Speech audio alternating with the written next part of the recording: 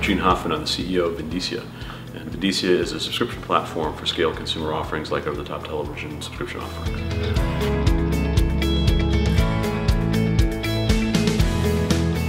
Well, I think uh, there's two messages about OTT right now.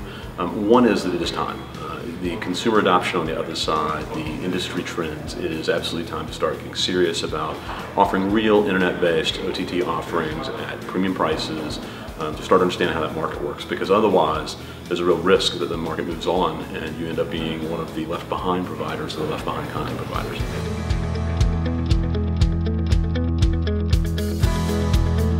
I think so far a lot of television content providers and platforms have looked at this as, well, we'll give you additional access to our content on a second screen, but it's not the primary way we're going to do business with you.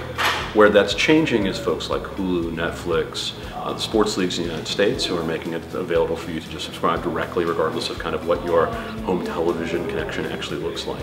And those businesses are absolutely growing very strongly.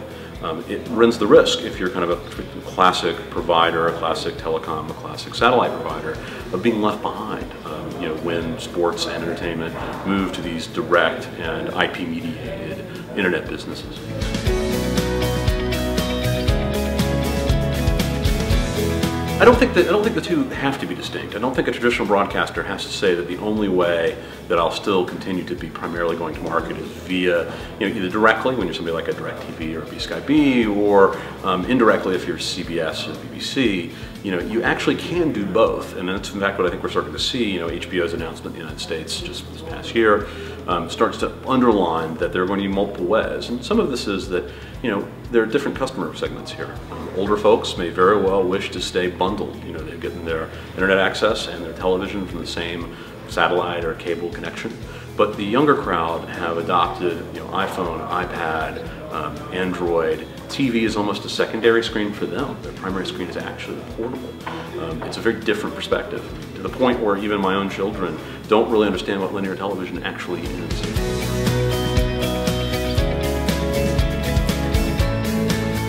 Well, we have the skills and the know-how and the infrastructure to allow you to launch a scaled consumer subscription service. So everything from signing the customer up, dealing with global payment infrastructure, um, being able to maintain the customer lifetime extremely long times, and then manage all of the how do you promote this now? You know, how do you actually go out and put this in a store to convince people to buy it when they're buying a television set or a, not a tablet? Um, it's all of the marketing and infrastructure pieces necessary to really be able to launch a global scaled internet OTT offering.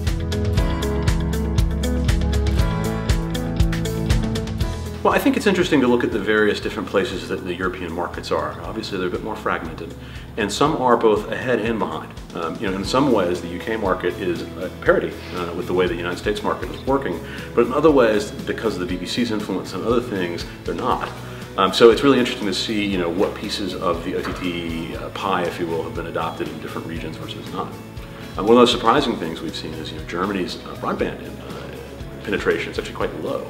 And that's driven the fact that OTT has not been as compelling because people don't have, you know, 10, 50, 100 megabit uh, connections to be able to stream HD content.